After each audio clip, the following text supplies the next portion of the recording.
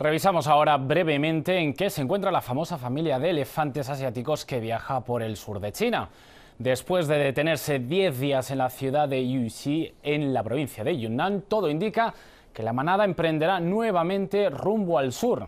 En los últimos dos días, los elefantes recorrieron cerca de 10 kilómetros en dirección suroeste y en la mañana del viernes la manada volvió al distrito de Eshan, su parada anterior.